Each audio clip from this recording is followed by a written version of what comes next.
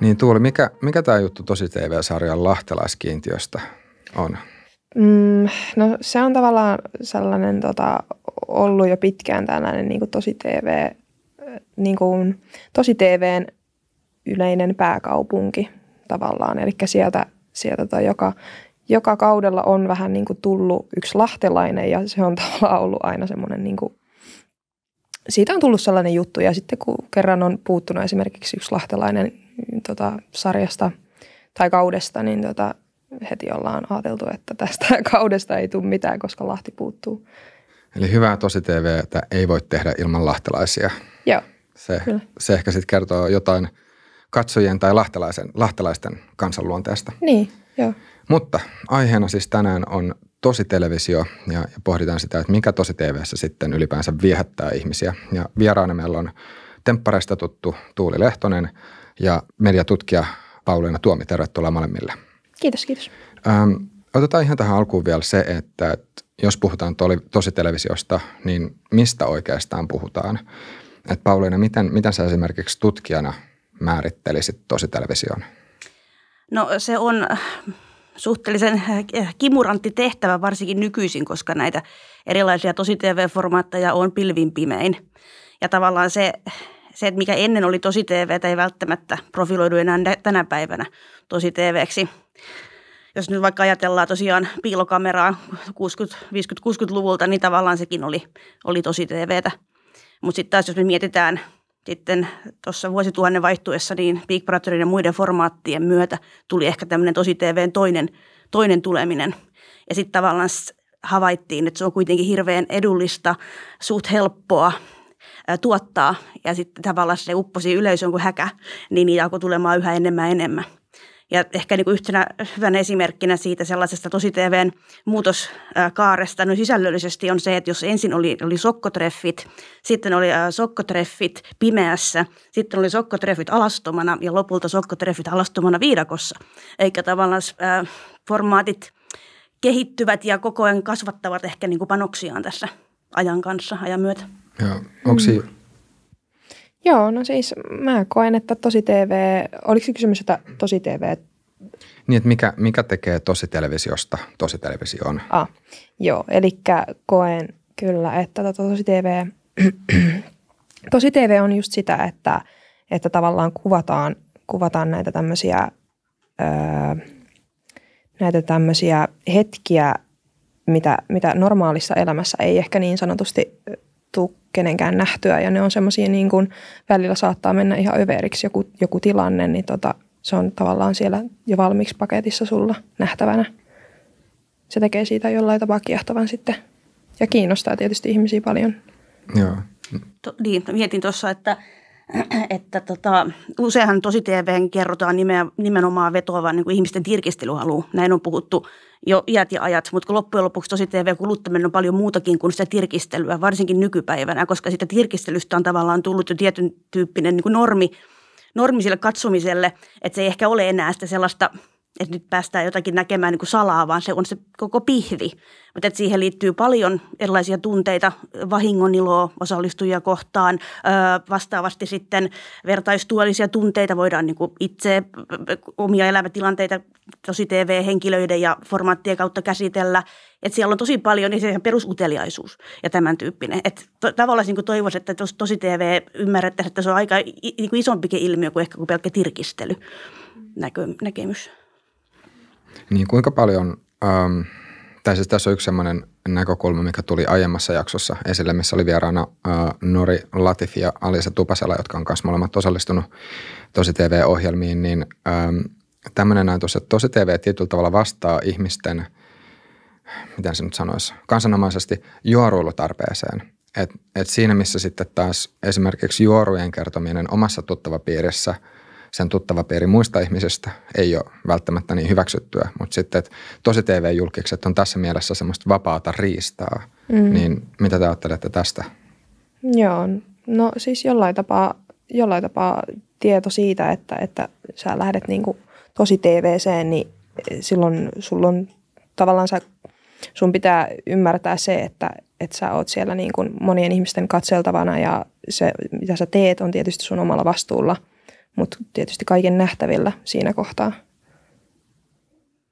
No joo, olen kyllä niin samaa mieltä, että, että kyllähän kun puhutaan joissakin, joidenkin formaattien kohdalla törky-TVstä, niin kyllä se aika usein on myöskin sieltä katsojien puolelta se ruotiminen ja se palaute näille osallistujille melko se, melko se törkyistä, että sitten tuottaako se sitten sitä, mutta se, että aika koviinkin pyörityksiin osa tuntuu joutuvan näissä osallistuttuaan, että yksi ehkä nyt ää, Big Brotherin uuden tulemisen myötä, niin, niin tota, Eevis, joka sai aika, aika kovaakin runtua sitten osallistumisen jälkeen, että ihan, ja ihan kun sitä seurasi tavallaan vaikka Facebook-sivun välityksellä, kun mitään sensuuria ei tavallaan siinä hetkessä somessa ole, niin se oli mm. aika kovaa, mm. kovaa mm. myllytystä. Joo, sun täytyy olla jo niin kuin rutinoitunut siihen, että, että sieltä saattaa tulla mitä tahansa vastaan, vaikka et välttämättä tekisi mitään, niin ihmiset saattaa vaan kokea, että sut epämieluisena niille kuitenkin jollain tapaa.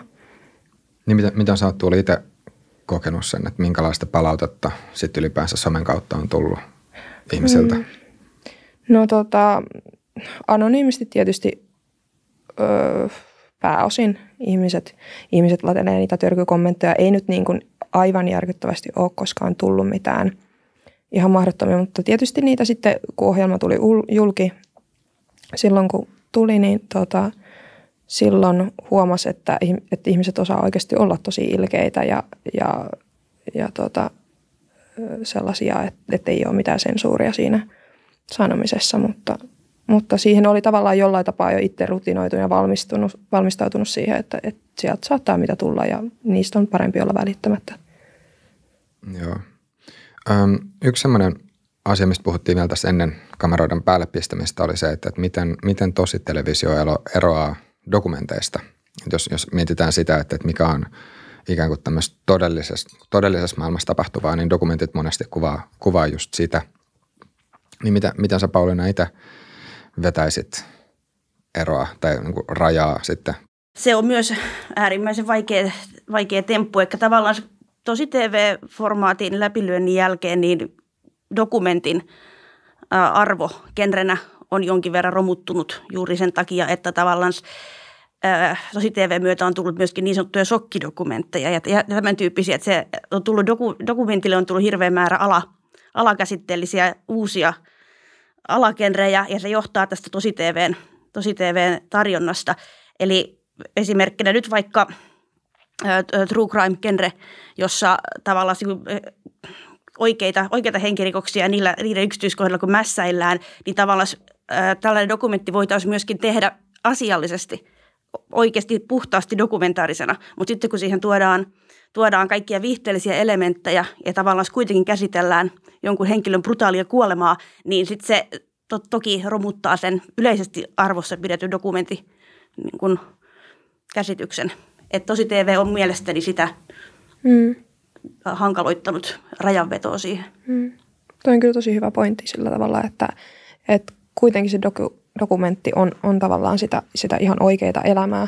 Ja näin ollen niin kuin, niin sitä on tavallaan siinä hyvä käyttää, käyttää semmoisena niin tavallaan nimikkosuojan niin kuin, niin kuin dokumentti, vaikka se on tosi elämässä just sitä, sitä mässäilyä, sillä, sillä saattaa olla joku tämmöinen raaka elämän tapahtuma tai mikä tahansa, niin se on, tota, se on kyllä.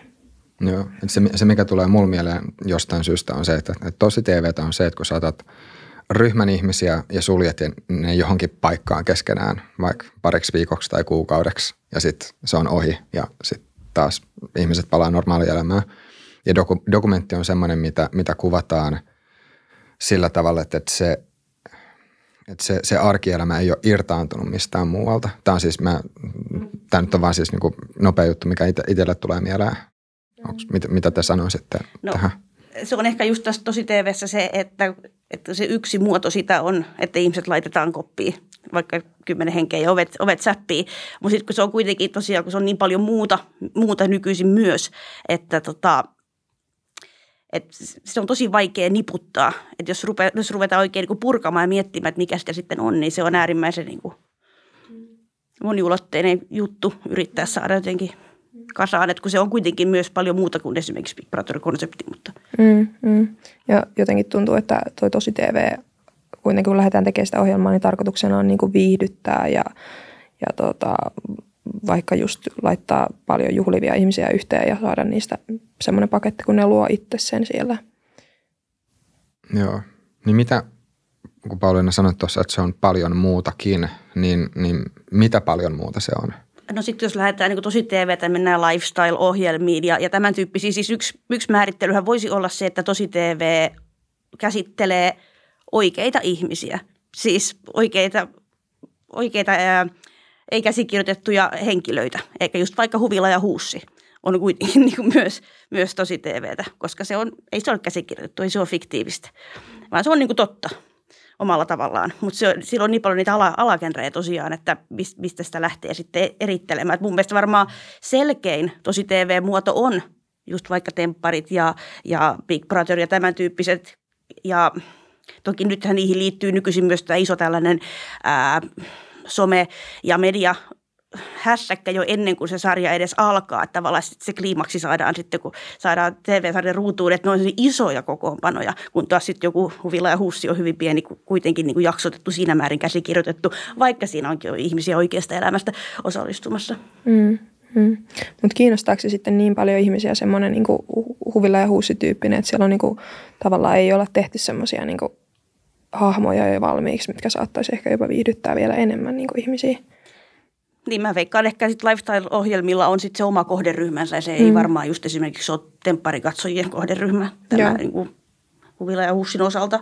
Mm. Mutta se, että sitäpä en sitten tietenkään osaa sanoa, että väittäisin, että jokaisessa tämmöisessä vähän viattomammassakin TV, TV tosi TV-formaatissa, niin on ihan varmasti myöskin leikkauspöydällä tehtäviä ää, pieniä kikkoja, jotta siitä saadaan äh, kuitenkin sitten jollakin tavalla ää, raflaavampi ja yleisöä kiinnostavampi siitä jaksosta. Mm. Että kyllähän sekin sitten rakennetaan. Mm. Että jos ei siellä tapahdu mitään jännää, niin ehkä se saadaan sinne sitten jollakin tavalla leikattua, että siellä tapahtuikin jotain. Mm. Mitä se muuten Tuuli koet, että jos sä, tai onko esimerkiksi itse katsonut niitä jaksoja, missä sä siis oot ollut mukana jälkikäteen? Joo, joo. Niin kuinka hyvin tai kuinka paljon se persoona, mikä susta näkyy nyt vaikka telkkarissa, niin sun omasta mielestä vastaa sitä, että minkälainen ihminen sä oot? Äh, hyvä kysymys. Tosi, mä oon kyllä sitä mieltä, että, tota, että ainakin omassa, omasta esimerkistä voin sanoa sen, että, että saa näyttämään varmasti täysin semmoiselta erilaiselta. Ja koen, että, että, että itsestä jäi varmasti, varmasti sellainen mm, tosi sellainen ehkä, ehkä jollain tapaa tämmöinen niin kuin ylimielinen tai tällainen tämmöinen henkilö sieltä ja, ja se tietysti sitten, sitten ihmisiä, ihmisiä ehkä niin kuin rakensi mielipiteitä sen, sen pohjalta, mutta, tota, mutta kyllä siellä niin kuin paljon oli sitä niin kuin maa itseäänikin ja se oli, se oli kiva nähdä, että, että sitä oli otettu sinne myös mukaan. Että ei ollut täysin niin kuin, että, että olisi ollut ihan vieras ihminen siellä toisella puolella ruudussa. Joo. Tämä oli aina, mitä, mitä just tota, vielä tuli esiin näistä persoonista. Että onko, jos, jos että sen eron lifestyle-ohjelmien ja tosi välillä, että, että, että, että, että kuinka paljon siinä on kysymys, että sulla on tietynlaiset, tietynlaiset henkilöhahmot siellä jo valmiiksi. Ja, ja tota, no, tästä tuli jo heti alussa, että yksi lahtalainen pitää olla tosi TVssä, että mm. muuten, muuten se ei ole oikein tosi TVtä. Yeah. Mutta kos, koska tosi TV on, on draamaa lähtökohtaisesti, tai tosi TV tehdään tämmöiseksi draamaksi, niin, niin just se, että, että, vaat, tai että miten te kuvailisitte sitä, että mitkä olisi semmoisia stereotyyppisiä henkilöhahmoja, mitä, mitä tämmöisissä ohjelmissa voi olla. Että onko se niin kuin ikään kuin, että kiintiö sitä, kiintiö tätä, että et, et onko siellä jotain semmoisia niin kuin vakiopersoonia, jotka toistuu kaudesta toiseen, ää, niin kuin sarjasta toiseen? Mm, no kyllä mä koen, että sinne, sinne tehdään aina, aina tota, joka kaudessa on aina se yksi tavallaan paha tyyppi, tällainen, tällainen joka niin kuin heti tota, vaikka nyt otetaan tempparit esimerkiksi, niin pettää, pettää puolisoa niin kuin ensimmäisissä, ensimmäisissä bileissä ja näin ollen, niin siitä tehdään tavallaan semmoinen, että, että, että, että semmoinen kohde jollain tapaa ja se, nostetaan se, se henkilö sieltä aika pitkälti ylöspäin. Ja näin ollen se myös näkyy siinä ohjelmassa tosi paljon, varsinkin näitä, näitä tämmöisiä leikkauksia siitä niin kuin hänen toiminnastaan.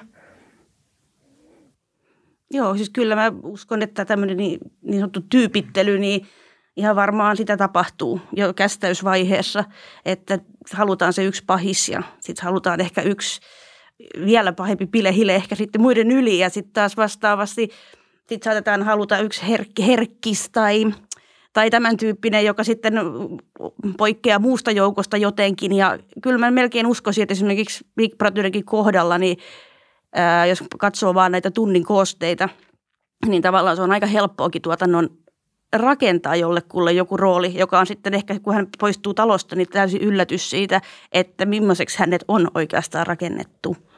Että siellähän sitä et siinä hetkessä tietenkään tiedä, mutta se, että, että välillä tuntuu vieläkin, vaikka nyt ajatellaan, että tosi TVn tätä suurpuumia olisi nyt sitten sieltä 99 Big Brotherista eletty, että välillä ihmiset ei niin kuin vieläkään just tiedosta sitä, kuinka paljon siinä kuitenkin on niin kuin sitä – tuotannon äh, näpit siinä pelissä, että se tietty autenttisuus ja se, että tämä on totta, mitä siinä halutaan korostaa, niin se on kuitenkin manipuloitua totuutta aina. Mm. Että ei se tule ikinä niin kuin raakadatana sieltä, mm. paitsi sitten tietysti Big Brotherin 247-palvelussa. Mutta, mm.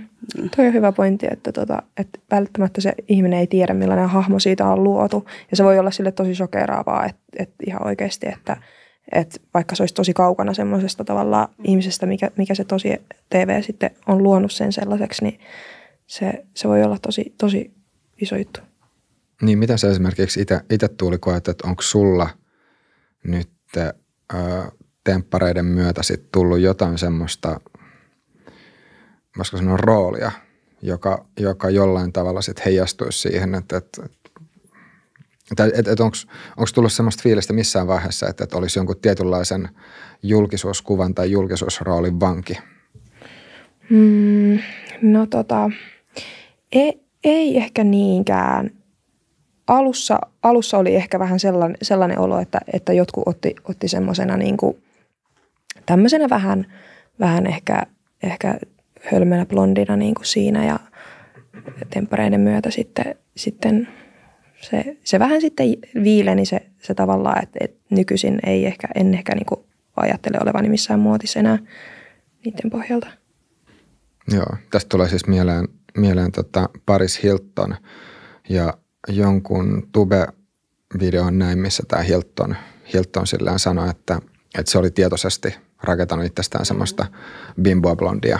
Ja, mm. ja tota, ihan siis lähtien siitä, että millä äänen korkeudella puhuu – ja, ja tota, vaikka muuten, muuten en, en juuri ole Paris Hiltonin elämää seurannut, mutta, mutta se niin kuin sen yksittäisen haastattelun pohjaltakin, joka, joka siis oli joku tämmöinen elämänkerran mainostus tai puffi, että et toki siinä oli tämä kulma vielä kanssa, mutta, ähm, mutta itsekin huomasin, että okei, että se minkälaisena – se oli näyttäytynyt esimerkiksi mulla aikaisemmin mediassa ja se nyt millä tavalla se puhui siinä, siinä haastattelussa, niin siinä oli, oli tavallaan pieni tai siis jonkin, jonkin asteinen ero.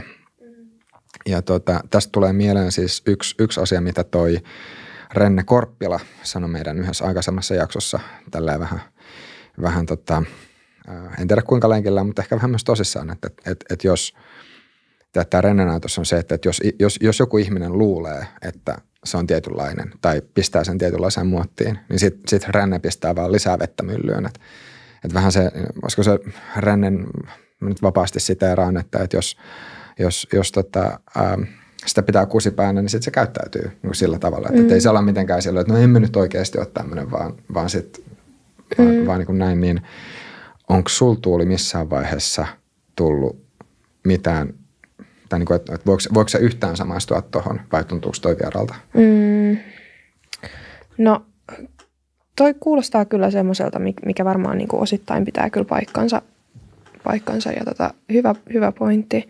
Siis itse ehkä, ehkä just tämmöisissä, kun mennään tämmöisiä haastatteluja ja kysytään, kysytään että millainen, millainen sä oot vaikka niin kuin, millainen, millaisena sä käyttäydyt humalassa tai näin, niin kun sinne menee heittämään, että joo, mä oon vähän tämmöinen höpsö ja näin, niin sit sitä ehkä vielä niin kuin jotenkin tuodaan ilmi tai siitä jotenkin innostutaan jopa, jos sä sanot, sanot että sä käyttäydyt jollain tapaa jossain tietyssä tilanteessa.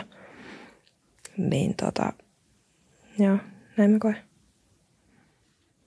Miten sä sanoisit Pauliina, jos, jos sä mietit tätä tutkijan näkökulmasta, niin onko sä itse havainnut, että, että, on semmoisia, että, että onko sulle näyttäytynyt niin, että tietynlaiset persoonat, niin ne jotenkin lähtis sit ottamaan, ottamaan sit vielä roolia niin, vielä koppia enemmän. sitä annetusta Niin. roolista.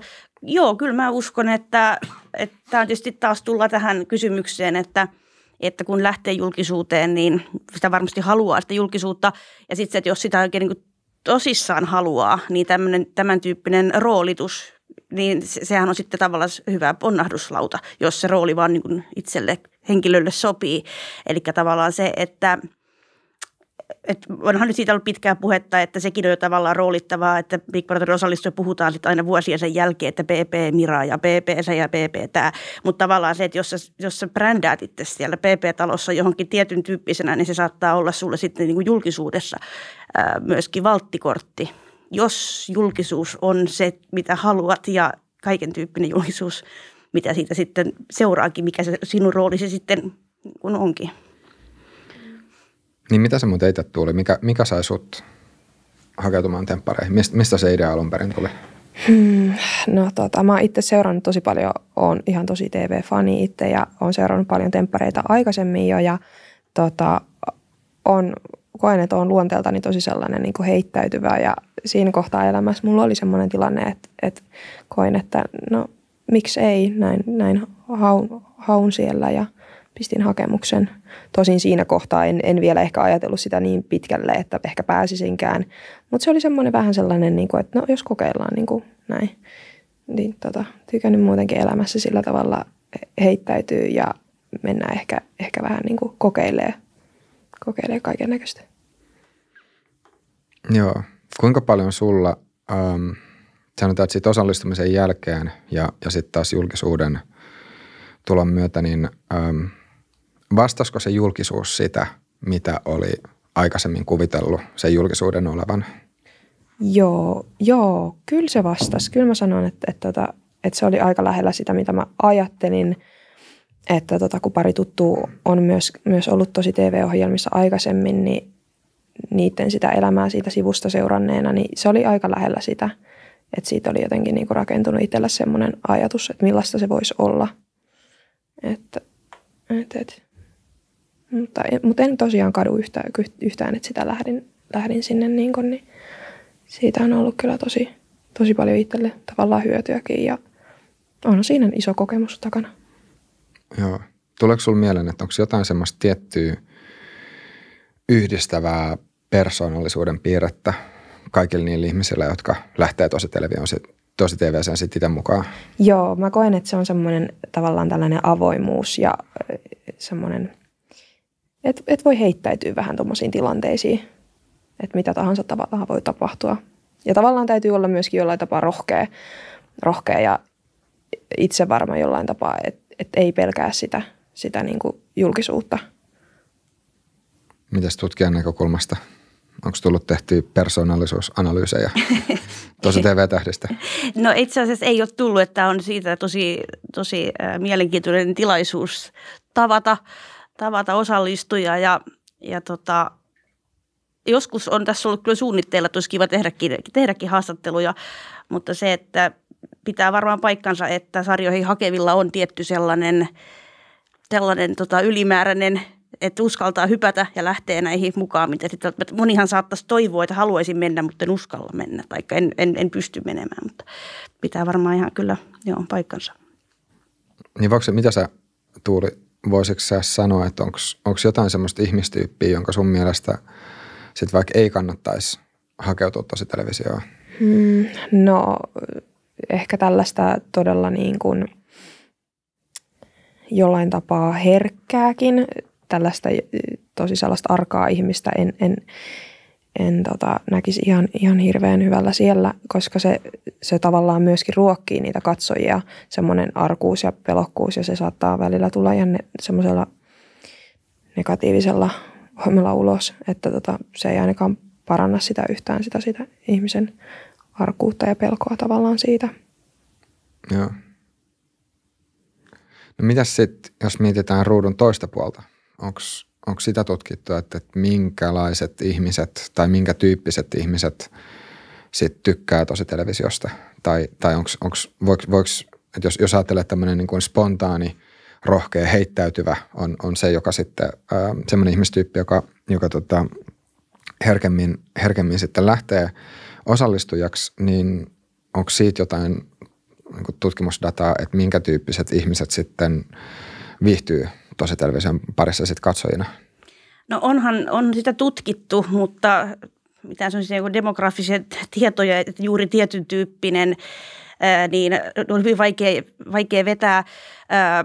Mutta se, että onhan selvä, että esimerkiksi nyt vaikka temppareilla niin kohderyhmä on nuoret aikuiset, eli se on se haarukka, mihin, mihin sarjaa tehdään. Mutta tiedetään kyllä, että temppareilla on esimerkiksi iäkkäämpiä katsojia ja ihan, ihan paljonkin olemassa, että ei se ole pelkästään se, se, se kohderyhmä kysymys siinä myöskään. Ja, ja sitten ehkä, ehkä myös tosiaan se formaatin sisältö ja se formaatin juttu on se, joka määrittää. Esimerkiksi jos me ajatellaan ää, suurta polemiikkia aiheuttanut lapsituntemattoman kanssa, tai erilaiset äidit, tai toisenlaiset perheet, tai tämän tyyppiset, niin ja supernäni esimerkiksi, niin varmasti löydetään vähän erilainen tausta katsoja sieltä. Mahdollisesti henkilö, jolla on lapsia, tai sitten henkilö, joka ohjelman jälkeen päättää, että ei hankin lapsia, mutta, mutta tota, et myöskin se, että mihin se on suunnattu, niin määrittää paljon sitä. Et toisaalta tiedän paljon ihmisiä, jotka katsoo Big Brotheria tosi intohimoisesti, mutta ei pysty katsoa mitään muuta, koska ei voi sietää, sietää muita formaatteja. Tavallaan vaikea just niin kuin sanoa, että kaikki tosi TV ei varmaan kolahda. Tai ei tietenkään kaikki kolahda. Niin miten, miten tuo oli sulla oli siis, kun sanoit, että, että sä olit, sä olit silleen vähän – koska on fanittanut tosi TVtä aikaisemmin, mutta että, että oliko sulla jotain semmoista tiettyä, tiettyä sarjaa, mitä sitten erityisesti katsoo? No joo, eli just, just nämä tämmöiset nuo, nuorten sarjat tai tällaiset niin kuin Temptation Islandit ja Ex on the Beachit ja, ja niin kuin Paratiisihotellit, nämä, nämä tämmöiset oli sellaisia, niin kuin, sellaisia tavallaan, mitkä kiinnosti ehkä itseä eniten, koska siellä oli niin kuin tavallaan oma ikäisiä henkilöitä myöskin mukana – niin sitten, sitten se, se kyllä kiehtoo. Et kun taas sitten vaikka tämmöinen joku huutokauppakeisari tai, tai joku huvila ja huussi tyylinen justinsa, niin ehkä ei ollut niitä omia, omia intressejä sitten niitä ohjelmia kohtaan kuitenkaan. Joo. No mitäs tämä tirkistelyn halu? Mielestäni nyt tuli tässä kanssa, jompikumpi teistä heitti, heitti tämän äm, esille aikaisemmin, joka on nyt tässä jaksossa tai sitten ennen jaksoa, mutta äm, miten, miten sitä voisi lähteä purkamaan? Et mikä, mikä siinä nyt, mikä siitä, mikä siitä tosi televisiossa on sit sitä, mitä, mitä ihmiset jotenkin haluaa nähdä tai millä tavalla se tosi TV sitten palvelee ihmisten tirkistelyn halua tai sitten vaihtoehtoisesti, että miten sitä tirkistelyn halua oikein vielä ruokitaan? Hmm. No ehkä jopa siinä on ne tilanteet, tilanteet jotka, jotka jopa kärjistyy. Esimerkiksi, otan nyt taas esimerkkin tempparit, niin kärjistyy vaikka tämmöiseksi pettämiseksi, niin se on niin kuin suoraan katsojalle niin kuin siinä. Että et, et se, se on tavallaan niin kuin, se on niin sellaista, sellaista materiaalia, mitä, mitä ei mistään, mistään muualta tavallaan voi, voi sillä tavalla niin helposti nähdä – ja sitten kuinka se etenee siitä, kuinka sitä niin kuin lähdetään ratkomaan, kuinka se vaikuttaa niihin ihmisiin, niin siinä on joku, joku semmoinen tota, varmasti osittain, että mikä kiinnostaa tosi paljon ihmisiä.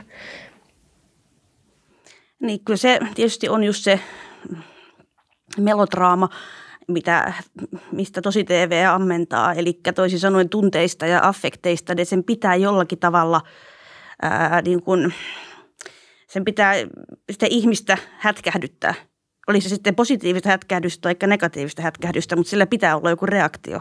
Ja silloin kun se on, tapahtuu niin kuin tunnetasolla ja, ja ihmisten, niin kuin sanotaan usein, että ihmisten niin kuin tunteet on näissä ohjelmissa siinä ihan raakana niin kuin kaikkien katsottavissa. Esimerkiksi nyt vaikka sitten nämä iltanuotiot ja muuta vastaavat, niin tavallaan sitten se toisen niin kuin sen aidon, autenttisen tuskan ja kivun kokeminen sieltä TV-ruudun toista puolta, niin onhan se jollakin tavalla vangitsevaa. Vangitsevampaa jopa kuin käsikirjoitettu fiktiivinen kauniit ja rohkeet, joka sitten tietysti on ihan, ihan oma juttunsa. Mutta se, että se vetoo ihmiseen niin kuin tunnetasolla, kun se on niin kuin jonkun aidon oikein ihmisen esimerkiksi se pettämistuska siinä ruudulla. Hmm. Eikä tunnetta ja reaktioahan tässä haetaan. Hmm. Hmm ja kuinka siihen ehkä voi jopa samaistua sitten, jos, jos on tällainen henkilö, joka on kokenut jotain sellaista samanlaista, niin siinä kohtaa, siinä kohtaa se voi tuoda tavallaan että, että semmoista vertais, vertais siinä. Niin, että kuinka paljon, kuinka paljon tosi TV on vertaistuellista psykoterapiaa, vaikeiden tunteiden käsittelyä? No Mä, äh, tämä on mulle vähän siitä just äh, kaksipiippunen juttu, koska se oma aihe on se provokatiivinen televisiotuotanto ja media ja sen tutkiminen ja tavallaan just se, että, että paljonko sitten niin kuin näillä tunteilla oikeasti myydään, mässäillään, että missä on se raja, että koska se on niin kuin hyväksikäyttöä ja koska se ei ole, koska se on tehty hyvällä maulla ja koska ei. Onko esimerkiksi, niin kuin autetaanko ihmistä, oletko mitä syöt ohjelmassa, taikka vaikka äh, hengenvaarallisesti ylipainoinen. Tavallaan heitä autetaan, mutta tavallaan heitä, he ovat myöskin kuin polttoaineena siinä, siinä sarjassa. Mutta se, että toki jokainen yksilö niin omalla, omalla tota, tahollaan, niin saattaa hyvinkin kokea, että on itse jotenkin toiminut samalla tavalla tai itse elämässä tapahtunut jotakin vastaavaa, taikka just tempparin mies näyttää pahalta ex, ex, omalta ex-mieheltä tai, tai niin edespäin. Mutta just se, että, että tässä onkin se mielenkiintoinen kysymys, että mi, miten, mistä tätä niin kuin tulkitaan. Että jos me katsotaan niin kuin lehdistöstä tai niin kuin markkinoista ja mediasta, niin tuotannot mielellänsä korostavat tätä hyvän teke, tekevyyttä ja tätä vertaistuollista. Ja esimerkiksi just, onhan esimerkiksi paljon otsikkoja, että nämä kahdeksan asiaa jokainen voi oppia temppareista.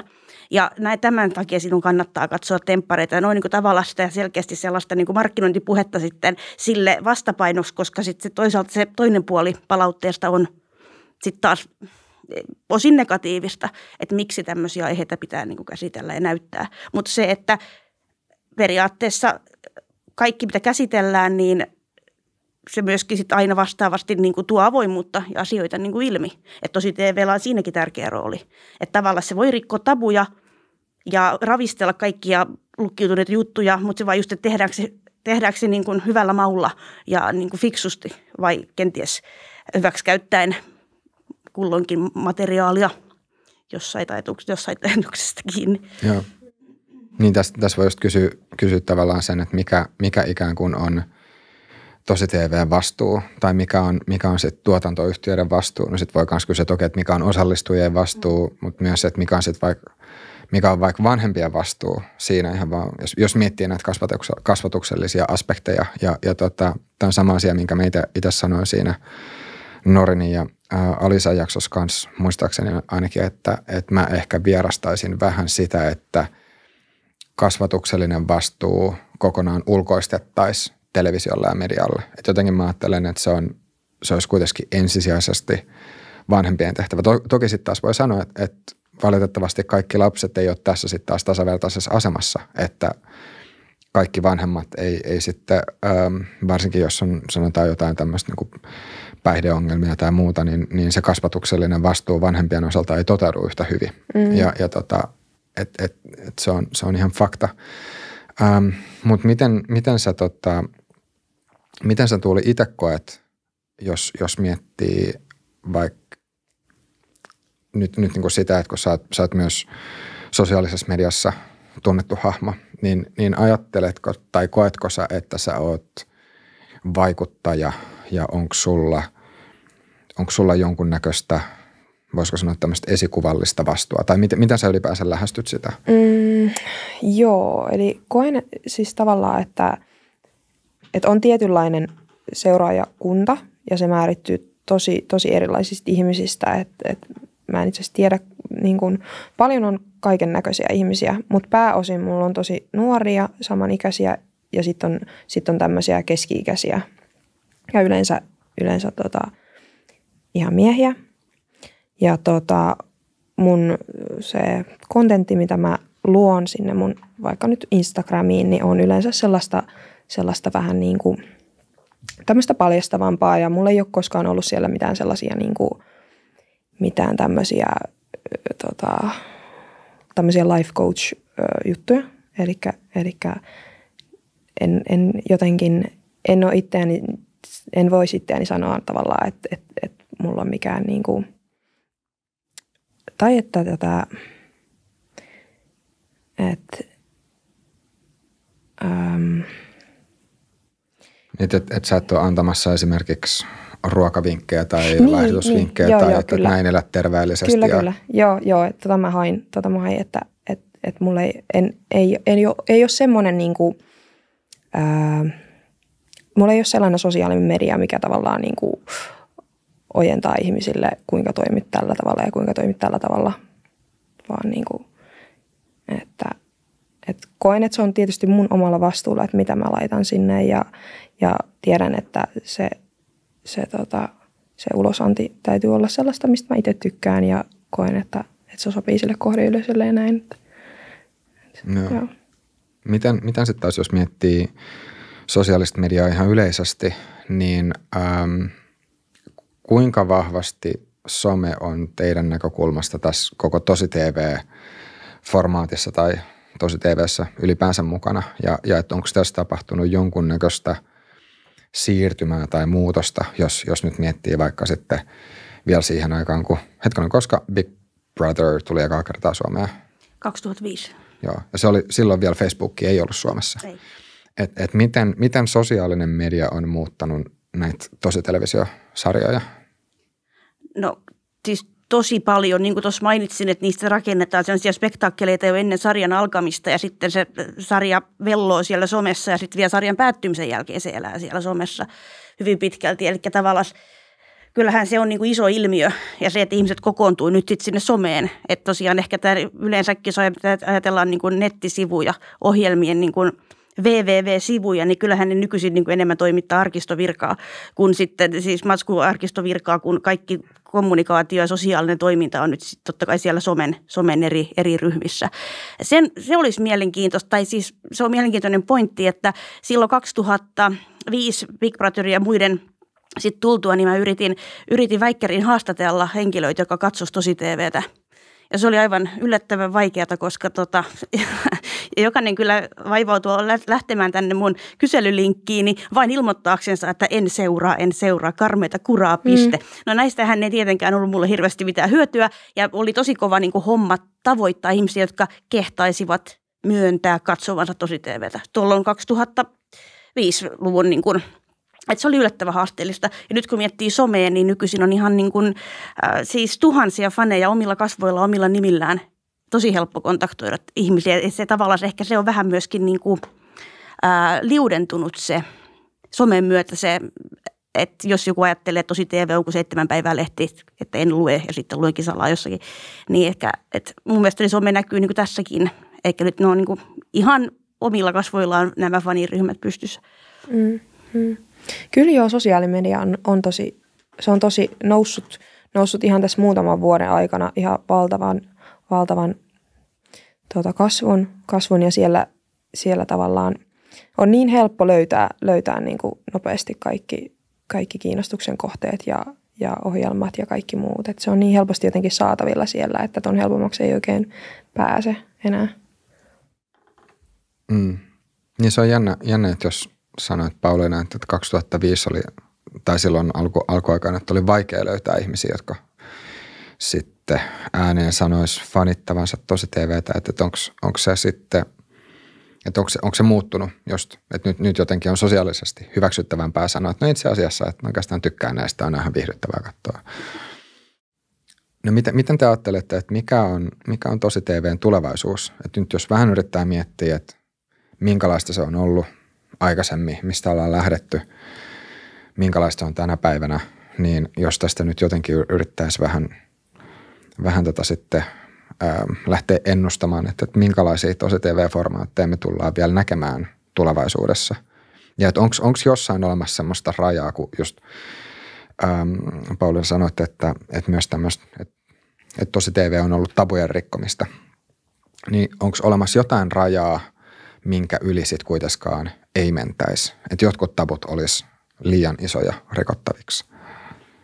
Varmaan lainsäädäntö on se, mikä tulee ensimmäisenä vastaan, että, että tota, se on varmaan se, missä pitää, pitää pitäytyä, mutta se, että noin niin tulevaisuutta muuten, niin – niin jotenkin ehkä nyt on huomattavissa, että esimerkiksi kun TV, tämän kevään TV-viihde, niin se on hirveä tällaista kuitenkin nyt positiivissävytteisempää, lämpimämpää, paljon, paljon äh, paljon tunteita, kyyneliä, vain elämää, tanssii tähtien kanssa ekstra spesiaali tunteikka, tunteikasta on ja sitten sukuni salat ja tämän tyyppistä.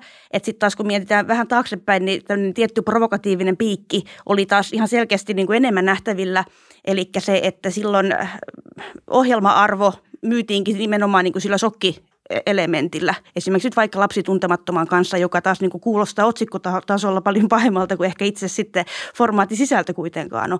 Niin tavallaan koen, että ehkä tämä korona-aika, tämä kevät, niin tavallaan se, että tällä hetkellä tosi TV ja tämmöinen tietty pehmeys ja muu on ehkä ihan paikallaan, koska eikä nyt ei ole aika sille kaikista pahimmalle niin kuin tykitykselle noin niin kuin sisältötasolla. Ei se ole niin kuin kanavien eikä, eikä tuotantoyhtiöiden brändillekään eduksi ehkä nyt lähtee niin kuin kaikista suurimmilla sokkiarvoilla metsästämään niin kuin katsojia. Mutta se, että uskon, että tosi TVstä tullaan näkemään vieläkin niin kuin paljon tulevaisuudessa, koska olen itse sitä pohtinut, että kun ihminen haluaa kuitenkin ää, tosiaan niin kuin järkyttyä, hätkä, hätkähtyä, niin turtuuko se ihminen ja tarvitseeko se sitten niin kuin aina jotain enemmän. Vaikka nyt just nämä alaston treffit viidakossa lopulta, ää, niin so, ää, sokkona luolassa, niin se, että tarviiko aina jotakin niin uutta. Mm, mm. Joo, kyllä mä koen, että, se, se, tota, että jossain kohtaa tässä kohtaa huomataan, että tarvitaan jotain uutta ja hätkähdyttävää ehkä vielä, mutta, mutta ihan varmasti se on tulevaisuus tulossa, koska, koska just, just toi, että ihmiset turtuu tavallaan tähän jo, jo katsoneen, katsomiinsa ohjelmiin, että ne on siitä samoja. Että tarvitaan ehkä jotain semmoista niin kuin täysin uutta, mutta mitä se sitten on, niin se tietysti jää ihan nähtäväksi tulevaisuuteen. Mm. Leipää ja sirkushuveja. Mm. Niin miss, missä menee se raja. Et, et, tota, mulla on joku, joku semmoinen muistokuva, että Venäjällä joku, joku tota, oli puuhaamassa tämmöistä Hunger Games-tyyppistä tyyppistä juttua, mikä kyllä sitten mulle tuli se vaikutelma, että tämä nyt oli ihan joku... Se jäi jo uutisanka kyllä. Niin, että se oli uutisanka, että ei siellä oikeasti mitään, mitään ollut tehtävissä. Ja siis tietysti tähän nyt lähtökohtaisesti olisi ollut ihan, ihan lain, niin. lain vastaista. Niin, mut, murhatakki olisi saanut. Mm. Niin, niin, niin, niin, näin julkisuudessa tämä, tämä tota, ohjelman vetäjä sitten, mutta on se, että just vaikka tämä, jos miettii nyt alasta muutta ja nyt on nämä, nämä tota, mikäs nämä, nämä kun, siis se missä ne on näiden box, niin kuin kopeissa ja sitten nousee. Naked Attraction. Niin, mikä sen nimi suomeksi on? No, se, se, on, on Naked, naked, Ai, se on Attraction Suomi. Okei, okay. Joo. Um, mutta just se, että, jos, jos oltaisiin nyt jollekin suomalaiselle vaikka sanottu 50-luvulla, että hei tämmöistä nähdään televisiossa, mm. mm. niin minkälaisen reaktion se olisi, se olisi herättänyt sitten silloin. Ja, ja kuinka iso voi sanoa se kulttuurillinen muutos, muutos sille, että mikä on hyväksyttyä ja sallittua Kyllä. on ollut. Että et voidaanko me tämän pohjalta sitten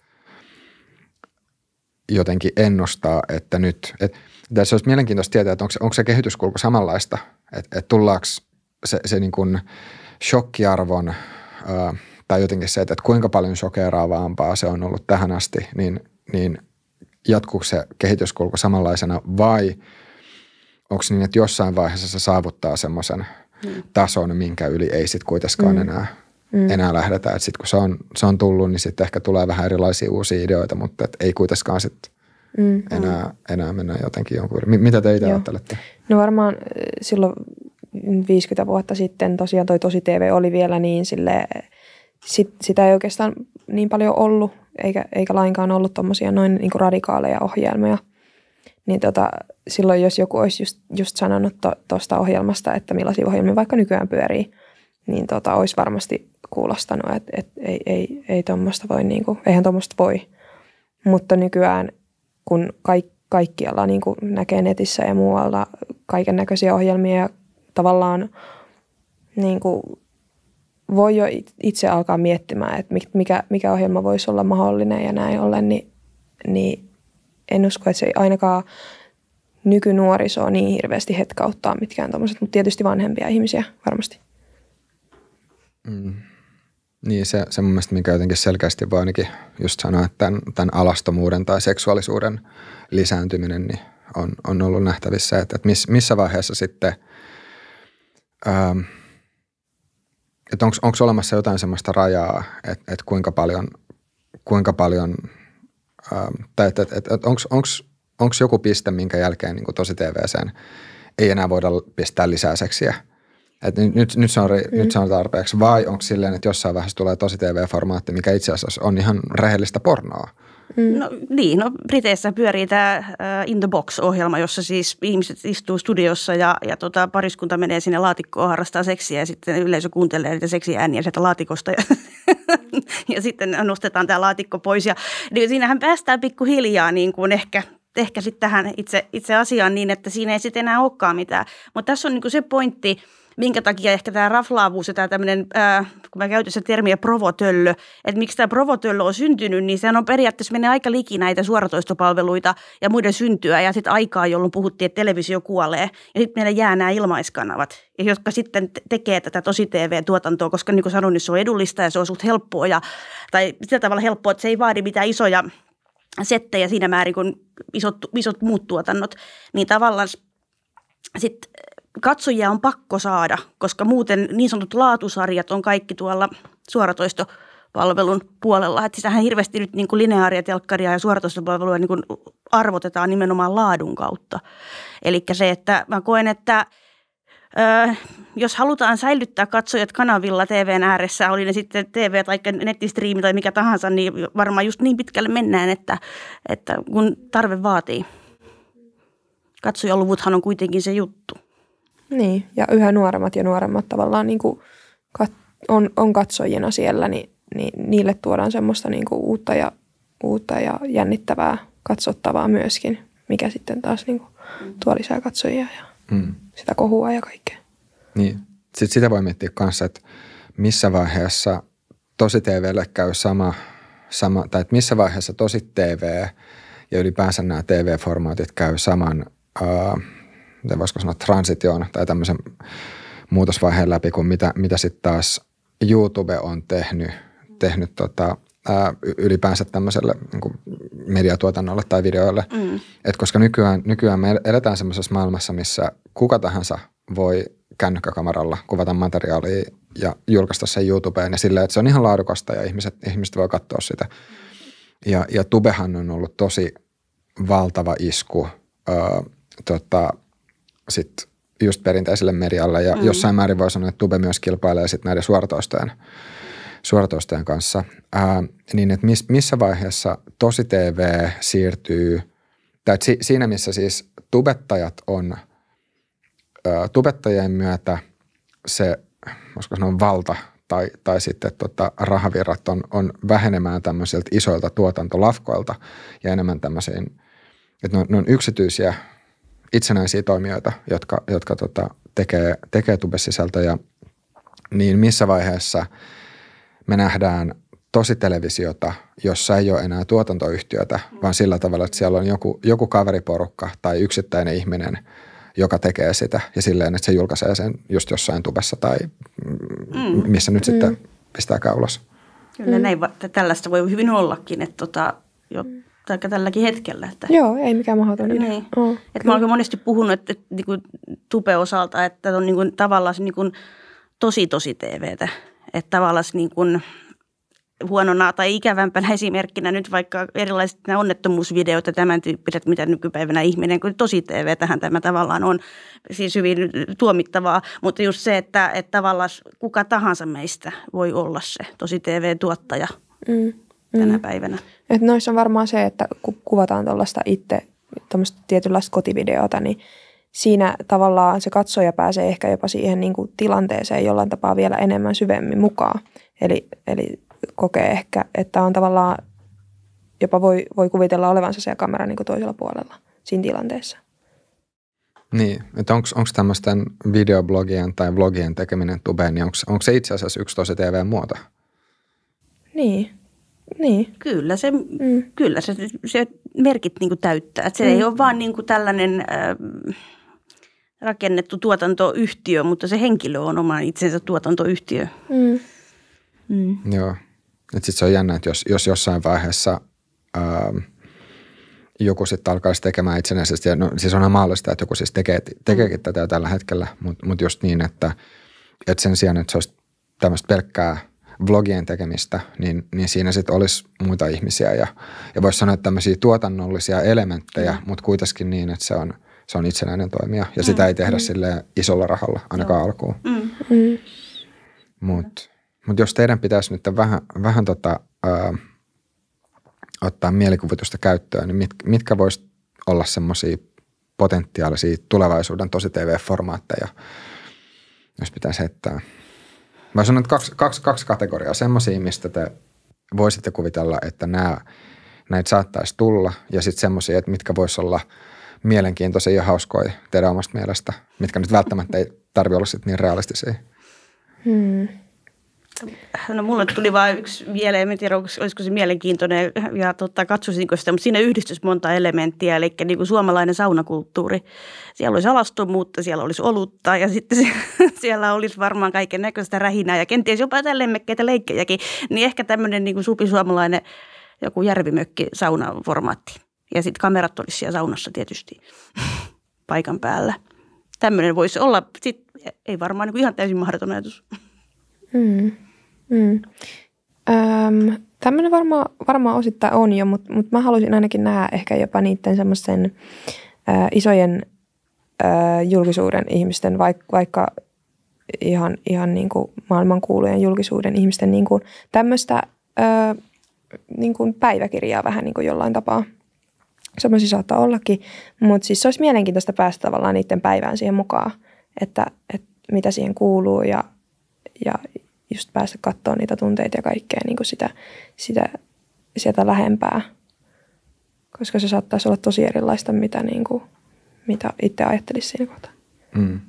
Kyllä mä ainakin siis katsoisin, että jos olisi, jos olisi Elon Muskin yksi päivä, mm. miltä, miltä se mm. näyttää, tai sitten joku muu tämmöinen teknologiayritysjohtaja. Joskin mä ehkä veikkaan, että ihmistyyppinen ei ole niitä, jotka olisi ensimmäisenä haluamassa sit jotain tämmöistä niin. ka- kameraryhmää, joka, joka häiritsee ja niiden keskittymistä siihen mm. oikeaan työhön sitten. Et, mm. et, tota, en ehkä ihan tiedä, että tullaanko, tullaanko, tullaanko tällaista näkemään, mutta mut kieltämättä siis se olisi tosi mielenkiintoista, mm. että et miten, miten joku, ja sitten mä voin hyvin kuvitella, että, että jos on ää, kuka tahansa muu ihminen sitten jota, jota vaan pitää mielenkiintoisena lähtökohtaisesti. Että se on vaan ihmisestä kiinni, että ketä nyt pitää mm. mielenkiintoisena, mutta tämä, niin päivän, päivän seuraaminen niin kieltämättä voisi olla aika, mm aika jännä. Just vaikka joku urheilija tai miten, miten, miten, miten, rakentaa sen päiväohjelman treenaamisen. Siis mun mielestä tupesi jotain tämmöisiä videoita kyllä siis Joo, ja, on. Joo, on. Ja sitten ehkä just vaikka Maria Veitolan niin kuin yökyläily on vähän sellaista, että päästään niin kuin näkemään,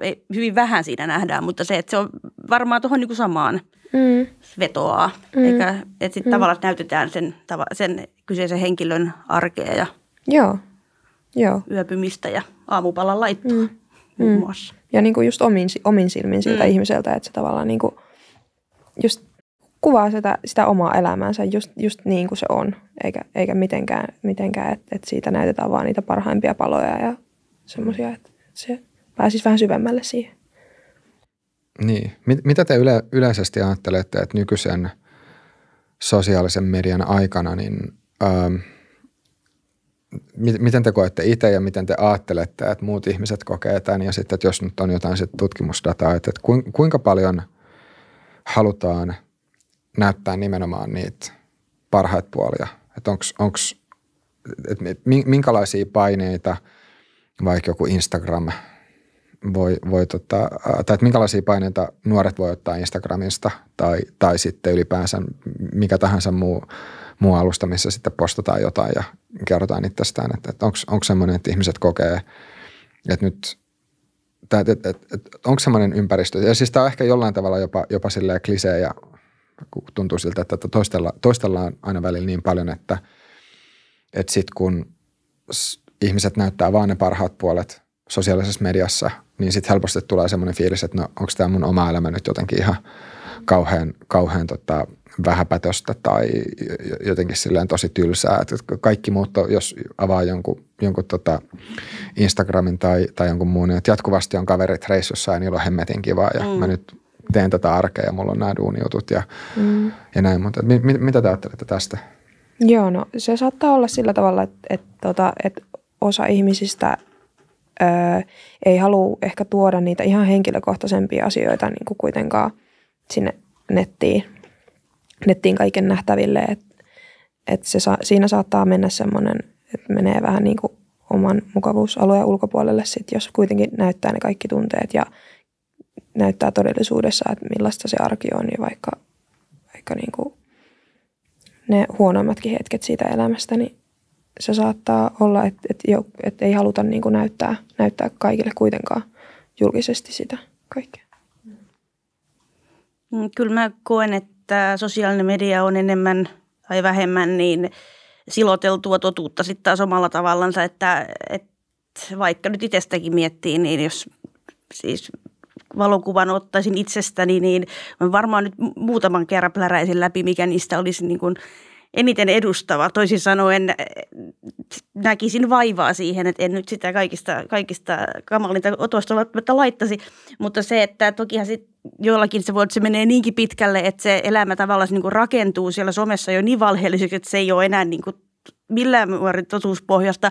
Ja sitten sä puhut, jos nuoret, kun ne seuraavat Instagramia ja muita, niin siinähän sitten tulee se, ehkä se pahin klikki, että mikä sitten niin kuin on enää niin kuin realistista, esimerkiksi vaikka ne ulkonäköpaineet ja muut, mitä tähän nyt liitetään, niin se, että jos siellä nyt mennään niin kuin ihan niin, kuin niin viimeisen päälle pelkkää niin kuin, kuvitusmateriaali, että ei kellään tavallisella ole mahdollista olla sen näköinen, niin se varmasti niin kuin aiheuttaa ahdistuksen hetkiä. Eikä tarvitse varmaan olla edes teini-ikäinen kokeeksensa ahdistuksen hetkiä siinä kohtaa, mutta. Niin toi on koska sit vaikka jos itse miettii, niin mä, mä kyllä hyvin pystyn ymmärtämään, että mistä tämmöiset ulkonäköpaineet voi tulla. Ja sitten varsinkin, jos miettii semmoista treeni- tai, tai fitness-skeneä ylipäänsä. Mm. Mutta tämä on myös vähän semmoinen, mä, mä en oikein tiedä, että miten, miten tähän suhtautuu, koska mun mielestä pystyy nähdä silleen niin kuin just parilla tavalla. To, toisaalta mun mielestä on hyvä, että jos, jos on hahmoja, jotka toimii inspiraation lähteenä sille, että ihmiset tekee terveellisiä elämänvalintoja. Mm. Vaikka se, että ylipäänsä urheilee, mm. syö terveellisesti ja jotenkin kannustetaan siihen, niin mun mielestä se on, se on lähtökohtaisesti hyvä asia. Totta kai sitten, jos se menee jonkun syömishäiriön puolelle tai, tai sitten semmoiseksi ähm, semmoiseksi ihan neuroottiseksi treenaamiseksi ja, ja tota, näin, niin sitten se on huono asia.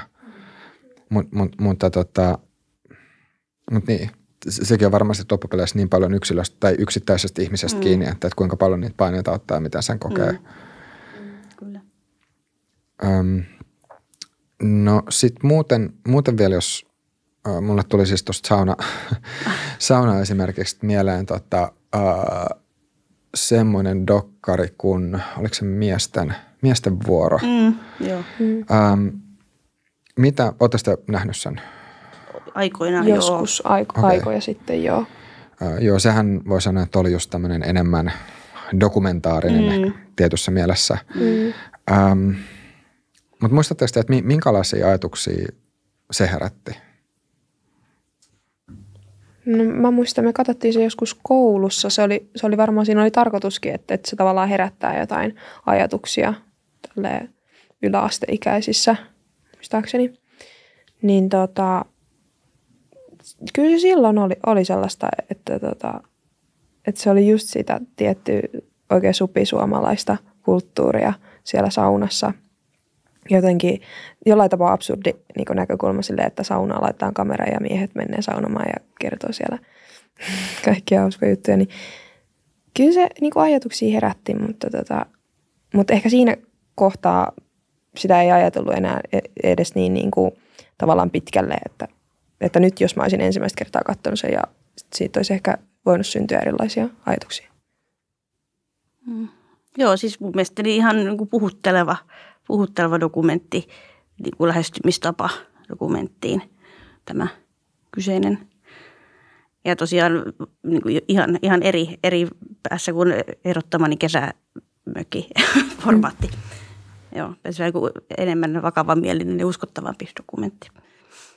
Niin, että tullaanko, jossain vaiheessa sitten näkemään, mun tuli siis just siitä mieleen, että tullaanko me näkemään semmoista tosi TVtä, joka ei ole, joka ei ole tämmöistä leikkauspöydällä rakennettua draamaa.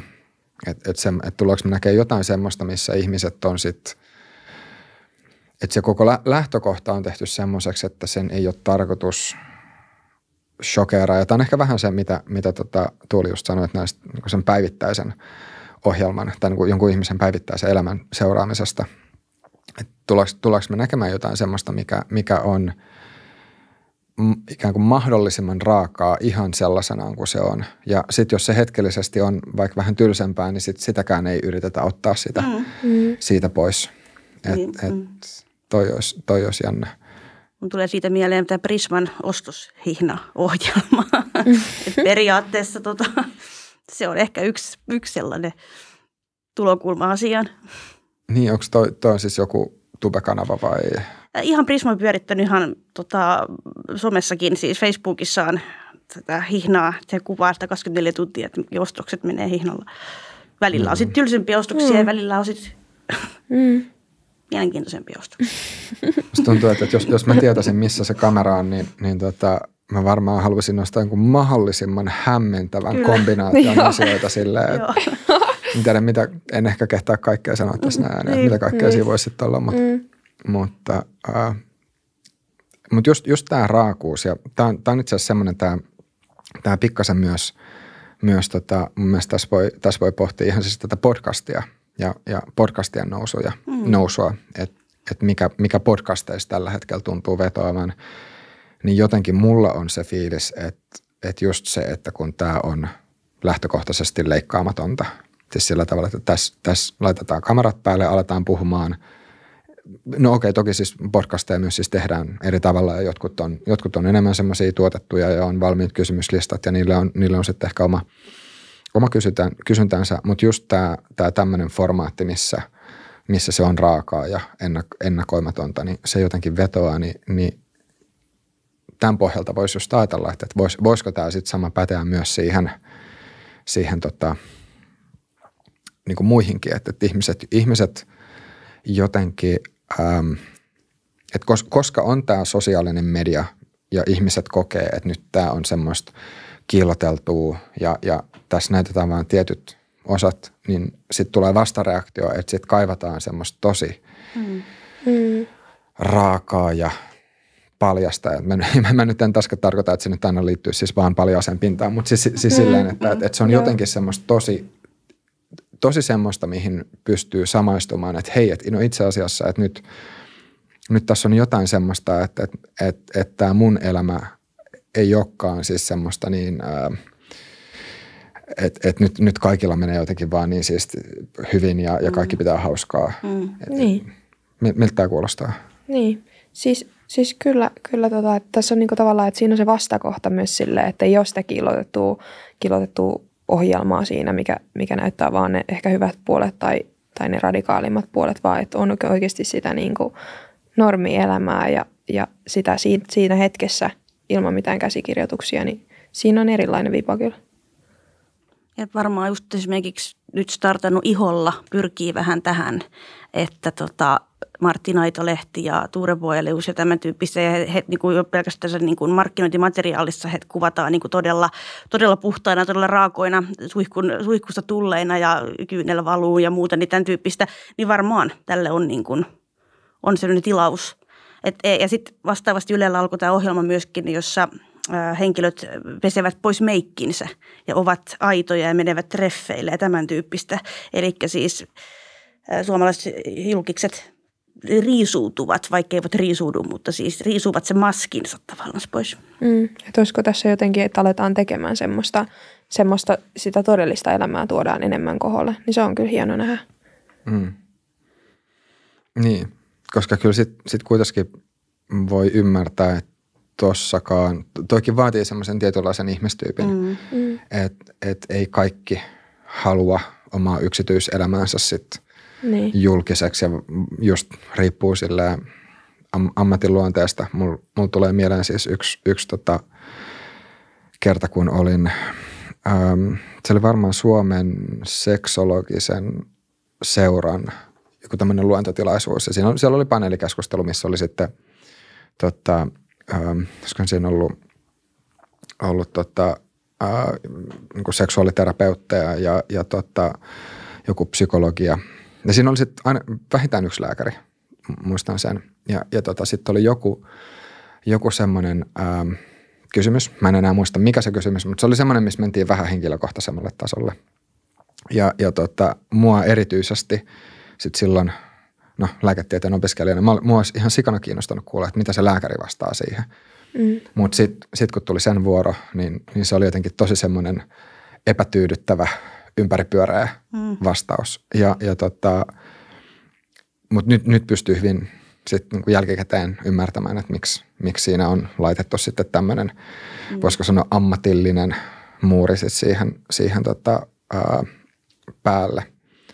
Mutta mut, mut, mut, mut vastaavasti voi miettiä, että okei, että, että onhan meillä nykyään ähm, yritysjohtajia, jotka on ihan sosiaalisessa mediassa. Että somesta on tullut semmoinen – työkalu, jota, jota yritysjohtajat ja, ja poliitikot mm. varsinkin hyödyntää. Että se ei ole semmoinen, että tämä nyt on jotain tämmöistä ikään kuin rahvaan kansan juttua ja me, me tai siis silleen, niin kuin, että, että sitten on olemassa ikään kuin joku eliitti, joka on tämän ulkopuolella.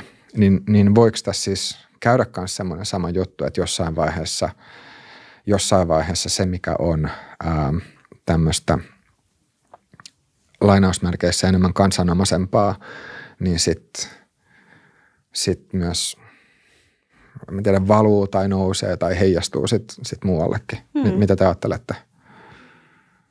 Joo, kyllä. Ja sitten tavallaan äh, toki jos ajatellaan, että kansanomasta ja sitten vaikka nyt politiikkaa, niin to, tokihan heidän pitää, pitää ollakin siellä porukassa, missä kannassa on. Ja tavallaan se, että ja sitten jotenkin musta tuntuu, että sosiaalinen media muutenkin sitten just isojen julkimoiden ja muiden osalta, niin onhan se muuttanut ihan hirveästi sitä, että tavallaan pääset aika liki sitä ihailemaan se henkilö esimerkiksi. Jos se ennen lähetit postikortin jollekin ja odotit sitten jotain nimmaria tai muuta, niin nyt tavallaan kaikki on niin kuin samassa, ollaan niin kuin sillä samalla alustalla kuitenkin. Mm.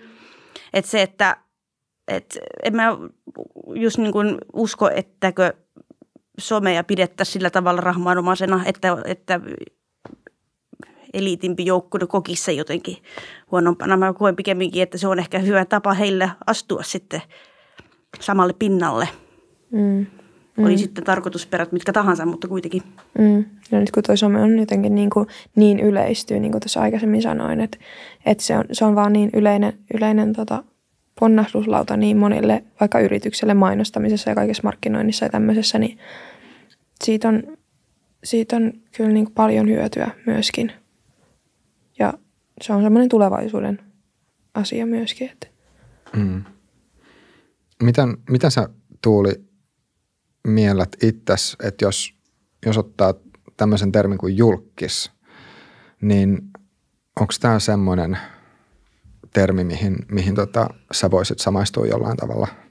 Mm, no en, en mä itse koe itseäni mitenkään silleen, koska julkis kertoo mulle, että, että se on, se on niin tämmöinen julkisuuden henkilö tunnettu niin kuin kaikkialla. Tai tällainen, niin kuin, että semmoinen nimi, nimi, minkä kaikki tietää, että, että jollain tapaa koen, että on enemmän ehkä semmoinen tunnettu, tunnettu hahmo kautta henkilö sosiaalisessa mediassa yleensäkin myyntikin. Mikä, mikä erottaa somessa tunnetun hahmon ja julkiksen? No mä jotenkin koen, että julkisuuden henkilö on vielä niin kuin tunnettua hahmoa se niin kuin vielä, vielä niin kuin yksi askel. Yksi askel pidempi, joo, se isompi taso siitä vielä. Että tunnettu henkilö on semmoinen, semmoinen, että osa ihmisistä tietää ja on ehkä kuullut joskus nimeä ja näin, mutta ei ole semmoinen niin kuin iso. No entä sitten, onko, onko miettinyt sitä, että haluaisitko sä olla julkis? Jos miettii, että nyt on, nyt on silleen saanut vähän äh, jalkaa oven väliin, mitä julkisuuteen ylipäänsä tulee, mm. mutta mut, että mikä, tai onko se sitä miettinyt, että, mitä, että mitkä, on sun tavo, mitkä on sun tavoitteet tässä suhteessa – Joo, siis kyllä, kyllä mä ainakin koen, että, että, että, että olisi hienoa tavallaan olla vielä enemmän tunnetumpi henkilö ja, tälleen, Ja niin sen pohjalta myöskin voisi tuoda, tuoda tavallaan niitä omia mielipiteitä ja sitä omaa itseänsä niin kuin kaikille esille sillä tavalla. Et, niin, kyllä mä, kyllä mä jotenkin koen, että se ovi on niin kuin avoinna ja kaikki on niin kuin mahdollista. Joo. Onko sulla jotain semmoista, ähm, jos, jos sä mietit vaikka omaa yksityisyyttäsi, niin jotain semmoista rajaa selkeästi, mistä voisi ajatella, että okei, niin että tässä on nyt, tässä on nyt sitten se ammatu, ammatillisempi puoli tai tämmöinen julkisuuspuoli ja sitten on joku, joku yksityisempi puoli, mistä, mistä kuitenkin sitten haluaa pitää kiinni, vaikka olisi tosi, tosi tunnettu. Joo, se on varmaan tämä oma, oma oikein, oikein henkilökohtainen tunneelämä on sellainen, mitä, mitä ei sinne julkisuuteen en ole tuonut, enkä, enkä varmaan jatkossa myöskään tuo, tuo ihan varsinkaan niin raakana kuin se mm. voisi tuoda. Et tietysti niin kuin, on, yritän olla mahdollisimman aito ja näin ollen niin kuin oma itseni siellä, mutta en ehkä tuo niitä kaikkia, kaikkia henkilökohtaisempia asioita elämästä kuitenkaan sinne sosiaaliseen mm. mediaan. Minkälaista se tasapaino ollut sit näiden kahden asian välillä on? Et jos, jos kuitenkin on, on julkisuudessa ja, ja tota, tuo itseään esille ja sitten sit, sit haluaa säilyttää jonkun semmoisen yksityisyyden, niin, niin että et miten, vai et on, onko se semmoinen joku ää, tietoinen valinta aina, että tässä menee se raja Joo. Ja, ja kuinka, tai sitten, että kuinka paljon se on joku tämmöinen intuitiivinen, vähän, vähän gut feeling tyyppinen, tyyppinen tota, mututunne. Joo, joo. Kyllä, sen, kyllä sen tavallaan tiedostaa itse, että, että millaiset, mitkä on ne ne materiaalit ja kontentit, mitä ei sinne sosiaaliseen mediaan tuo. Et, et se tulee tavallaan sieltä itsestä, että tuntee, että tässä kohtaa niin menee raja, että tämä en halua niin kuin tuhansille ihmisille näyttää itsestäni. Joo.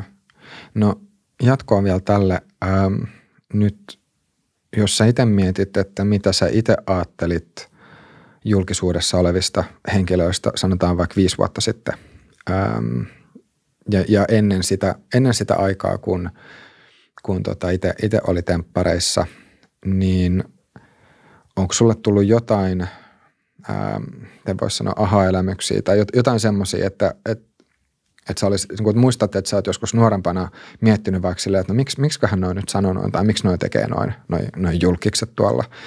Ja, ja sitten nyt tässä asemassa on sillä, niin kuin, sillä tavalla, että okei, no, että nyt, nyt mä ymmärrän. Vähän jos miettii siis tätä, tätä tota, ähm, lääkäriesimerkkiä, mitä aikaisemmin käytti liittyen tähän keskustelupaneeliin, että vaikka mä nyt vielä val, niin valmis lääkäri olekaan, niin silti mulla on semmoinen fiilis, että okei, että mä, mä voin samaistua siihen, että minkä takia se ei lähtenyt, minkä takia se lääkäri ei lähtenyt sitä omaa yksityiselämäänsä tai tunneelämäänsä niin, niin vahvasti siinä, siinä avaamaan. Niin Joo. Onko tästä, tästä jotain? Kyllä se tota, kyllä, kyllä mä sanoisin, että silloin nuorempana ennen yhtään mitään tätä, tätä kaikkea, niin – silloin sitä oli vaikea ymmärtää ja siihen niin kuin, sitä ei tietysti ajatellutkaan, että omalle kohdalle koskaan ehkä tulisikaan sellaista mahdollisuutta niin kuin kokea sellaista samanlaista, mutta on, on tullut kyllä sellaisia tilanteita nyt sitten, että ymmärtää tavallaan, että, että joo, miksi, miksi tämä ihminen niin kuin postaa vaikka just, just tavallaan niin kuin niitä kohokohtia elämästään ja sitä ei ikinä näe tavallaan sit, sitä niin kuin kurjempaa puolta, niin kyllä se nyt niin kuin jotenkin ymmärtää ja voi samaistua siihen, että, että ei kaikki halua niin kuin välttämättä kertoa niitä kaikkia asioita elämästä kuitenkaan niin silleen mm. suoraan. Voisiko tota jotenkin avata, tai siis tämmöinen kysymys, että mikä, että mikä ikään kuin on se syy, minkä takia niitä ei ei halua avata, vai onko niin, että pelkästään se vastaaminen tuohon kysymykseen olisi jo semmoinen, mikä, mikä sitten lähtisi menemään niin kuin sen tietyn rajan toiselle puolelle? Mm. No siis, toistaiseksi vielä kysymys? Niin, eli, eli, eli siis se, että, että jos, jos, on se, ähm, jos on se tunne, että, että haluaa säilyttää tietynlaisen yksityisyyden ja että on joku, joku semmoinen, mitä niin osa, osa-alue itsestään, mitä ei halua kaiken, kaiken kansan tota, nähtäväksi tietoisuuteen, niin, niin miksi on niin? Et, et mik, miksi, niin. miksi, miksi, miksi sitä haluaa varjella tai minkä takia mm. sen haluaa säilyttää? Niin, niin toi, on kyllä, toi on tosi hyvä kysymys, koska mä en ole ikinä pohtinut sitä sitten mitenkään niin kuin syvällisemmin. Olen vaan aina jotenkin ajatellut, että, että, tota, että omalle kohdalle niin kuin se, se ei ole semmoista, niin kuin, että missä tunti sitten se tavallaan niin kuin mukavaksi. Tai se menee tavallaan sen niin kuin mukavuusalueen yli. mutta, mutta sitten taas tavallaan on, on nyt niin kuin kasvanut kuitenkin sen verran paljon siitä ajatusmaailmasta, että, että en mä nyt niin kuin voi näyttää niin kuin tunteita, että, mutta nyt on niin kuin ajatellaan, tai ajattelen sillä tavalla, että me ollaan kaikki kuitenkin ihmisiä ja, ja niin kuin se, jos joku tuntee, niin kuin, haluaa kertoa niin kuin omista fiiliksistään, niin täysin fine. Niin kuin. Mutta itse ei ehkä ole vielä kuitenkaan päässyt sille tasolle, että se olisi sellaista, niin kuin, sellaista niin kuin omaa juttua kuitenkaan. Mm. Pidätkö mahdollisena, että jossain vaiheessa voisi olla niin, että sitten se alkaisikin tuntua turvalliselta? Joo, joo kyllä, mä, kyllä mä koen, että se, se on, on varmaan semmoinen kas, kasvu siinäkin asiassa sillä tavalla, että, että tavallaan, tavallaan sitten alkaa ajattelemaan niin, että hei, että, niinku, että me ollaan oikeasti kaikki ihmisiä, että, että, että totta kai niinku, että ei ajattele ehkä niin paljon sitten enää sitä, niin kuin, sitä, sitä mitä, mitä sinne someen pistää. Mm. Tietysti hyvissä, hyvissä rajoissa tietenkin, mutta niin. No mitäs Pauliina, tosi TV-tutkijana voisitko itse kuvitella osallistuvassa televisioon? No olen itse asiassa ajatuksella leikitellyt vuosien varrella tässä, mutta vielä en ole casting-tilaisuuksiin mennyt, että niin pitkälle ei ole ajatus vielä päätynyt. Mutta en mä tiedä, siis pitäisi sitä mitenkään mahdottomana, koska loppujen lopuksi jos mietitään, niin kyllähän se toisi heti niin kuin tutkijalle uskottavuutta, kun olisi ollut niin kuin itse siinä tuotannossa mukana. Ja mm. paikka toisi niin se erilaista, siis mm. siis sitä niin kuin oma kokemus, kokemus niin kuin pohjasta tietoa siitä. Mutta se, että mikä tämä formaattityyppi sitten niin olisi, niin en, en, en tiedä. Jos se sitten itse perustat tosiaan, kun oli puhe, niin tällaista niin kuin. No, koska toi, toi on jännä. Äh, mulle heti tulee se ajatus, että jos, jos olisi joku formaatti, missä olisi vaikka pelkästään tosi TV-tutkijoita, mm. tai ainakin niin, että niitä olisi tarpeeksi siellä, niin kyllä, kyllä mä saattaisin yhden jakson katsoa ainakin Ei, sitä. Että niin. siis siinä olisi heti se, silleen jotain, mm. jotain tosi, tosi erilaista. Ja just se, että et, et, et siinä se, en mä tiedä miksi, mutta tämä on, niin. vaan mikä, mikä tulee mieleen siinä. Ja, ja vähän jotenkin vielä sellainen ajatus, että jos, sulla on, jos, on, to, jos sulla on tosi TV-tutkijoita, niin alkaisiko, en tiedä miten sitä voisi. No jos, miettii, jos miettii näitä semmoisia formaatteja, jossa on, on jonkunnäköinen kilpailuasetelma, mm. niin, niin mä voisin kuvitella, että siellä, siellä kyllä nämä kilpailijat keskenään silleen – tai jokainen itsekseen miettiä, että okei, että mikä on nyt semmoinen hyvä strategia ja miten tässä kannattaa pelata, että, että pärjää, jos siis haluaa lähtökohtaisesti voittaa sen. Ähm, niin, niin vastaavasti, että jos olisi tämmöinen formaatti, missä olisi tosi TV-tutkijoita, niin voisiko siitä tulla semmoinen tilanne, että nyt nämä tutkijat alkaa jotenkin pelaamaan sitä tuotantoyhtiötä vastaan jollain tavalla, tai että siinä on joku, joku semmoinen – joku semmoinen muu, niin. muu juttu sitten vielä. Että. Niin, jos ajatellaan, että he olisivat kuitenkin niin selvillä näistä kuvioista ja ehkä niin. jopa kuvioista kuvioiden takana, niin, niin se saattaisi tuoda siihen semmoista. En tiedä, us- uskaltaisiko kukaan tutkia, ei siis tota, tuotantoyhtiö sitten ottaa niin. tutkijoita, koska niin, totta. niin, se, mm. ja, ja siis se, että kuinka, kuinka ää, jos miettii tuotantoyhtiöiden näkökulmasta, niin että kuinka iso se potentiaalinen yleisö sitten tälle, mm, kuitenkaan tälle, tälle mm. olisi. Öm, mulla oli sitten kanssa joku, joku tota, aa niin, semmoinen, että mitä, jos nyt miettii, että nyt tässä on tosi TV-osallistuja ja tosi TV-tutkija, niin mitkä olisi niitä kysymyksiä, mitä te haluaisitte kysyä toisiltanne, nyt kun tässä on siihen suora mahdollisuus? Okei. No mua kiinnostaisi niin kuin sun oma henkilökohtainen kokemus just siitä, että, että miten, miten sä niin kuin koit ää, tuotannon niin kuin sen roolin sun osallistumisen osalta, että niin koetko sä, että, että, että säännöt oli niin selvät ja teistä pidettiin huolta ja, ja oliko niin tarjolla ää, tosiaan niin erityyppisiä esimerkiksi niin kuin mielenterveyden palveluita, jos niille tuli tarvetta ja niin kuin tämän tyyppistä, mitä voit tietysti sopitusten puitteissa kertoa. Mutta. Joo, joo, siis ky- kyllä mä koen, että, että, tota, että siellä oltiin niin kuin ajateltu ja valmistauduttu vähän niin kuin joka tilanteeseen. Et, et se, oli, se oli tosi hyvä, että aina löytyi tavallaan joku, jolle puhua ja ö, heillä oli niin kuin ratkaisut kaikkiin ongelmatilanteisiin. Että ky, kyllä he niin kuin, o, oli sillä tavalla niin kuin, otti hyvä vastuun meistä kaikista. Joo. Et se tuntui kyllä niin kuin semmoiselta hyvältä, että oli sieltä kuitenkin, että ei tullut hetkeäkään semmoista ajatusta, että, että, että täytyisi täällä niin kuin yksin pärjätä ja näin, vaan että, että oli oikeasti niin kuin joku, joka huolehti Joo. kuitenkin. Koska toi on niin kuin tosi sellainen kaikille tosi uusi juttu ja semmoinen jännittävä juttu, niin totta kai siihen jotenkin tarvii semmoista niin kuin, no, jotain tiettyä tukihenkilöä vaikka sieltä tuotannon tiimistä, mm. joka Joo. on sitten myöskin tosi niin kuin lähellä koko ajan siinä Joo. meidän kanssa. Sitten vielä keikkaasi siellä liittyen, niin tämä teidän osallistujaporukka, niin oletteko te niin kuin sen tuotantokauden jälkeen, niin olette paljon tekemisissä, oletteko te hitsaantunut niin porukaksi vai Joo. ei tietenkään nyt varmaan kaikki, mutta se, että... Joo, eli, eli on, on, tota, on tosi hyvin mun mielestä jäänyt tämä porukka sillä tavalla, että ollaan paljon yhteyksissä niin kuin koko, koko porukka, Joo. nämä sinkut, sinkut vielä ja myöskin osa varatuista on, että, että se on, siinä on ollut niin kuin kiva huomata se, että, että kuinka samanhenkisiä me toisaalta sitten ollaan, niin näin ollen, niin niistä on jäänyt tosi hyviä ystäviä Joo. jälkeenpäin. Niin se on tosi kiva, että, että se myös toi sitten uusia ihmisiä niin kuin elämään mukaan. Joo.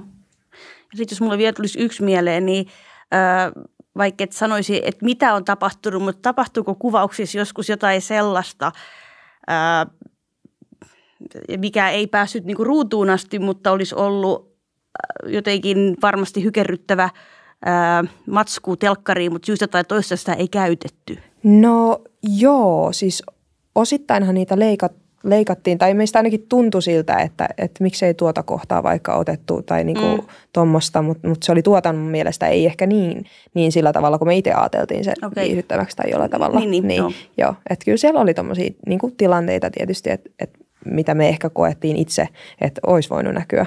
Mm. Mutta sitten toisaalta, ja sitten oli sellaisia tilanteita, mitä pelättiin, että näkyy, niin, niin. mutta mm. ei, ei sitten onneksi näkyy. Joo. Joo. Joo. Joo. Mm, mun täytyy kyllä kysyä, että, että mikä, mikä on niinku sellainen, että minkä, minkä takia lähdit niinku tekemään tai opiskelemaan tai kouluttaudut just tuommoiseksi? No, tota, aikoinaan kun tosiaan mediatutkimus kiinnosti ja sitten pongasin digitaalisen kulttuuri, joka on sitten vielä vähän niin kuin tähän niin kuin nyky, nykymaailmaan enemmän soveltuva ala. Ja mua siis kovasti media ja, ja televisio kiinnostunut niin kuin lukioista lähtien. Yeah. Että oikeastaan ehkä niin kuin tällä hetkellä median ja telkkarin rooli kuin yhteiskunnan viihteellistymisen niin kuin osana on niin kuin äärimmäisen iso pullataikina vaivattavaksi, että, että siinä mm. on niin kuin aihetta, mutta se, että olen toki myös aina ollut pienestä asti hyvin niin kuin telkkaria paljon katsova ihminen mm. ja leffoja ja, mm. ja tämän tyyppistä. Mm. Olisiko se silloin alussa ajatellut, että se olisi tällaista, millaista nykypäivänä on? No, äh, onhan kenttä muuttunut nyt jo, että jos mä aloin nyt ajatella, että, että tota, tein aikanaan jo 2007 gradun, niin television interaktiivista TV-mobiilipeleistä ja soittovisoista. Mm. Ja tota, sitten väikkärin myöhemmin sitten, tota, tietysti laajemmalla skaalalla tätä telkkaria, niin mä näin jo tässä niin kuin viimeisen 15 vuoden aikana niin isoja niin kuin muutoksia, mutta niin kuin tässä on niin kuin todettukin osin, mistä ne johtuu. että television asema on ollut niin kuin paikoin hapuileva, mutta sitten se on uudelleen itsensä niin kuin elvyttänyt sosiaalisen median kautta.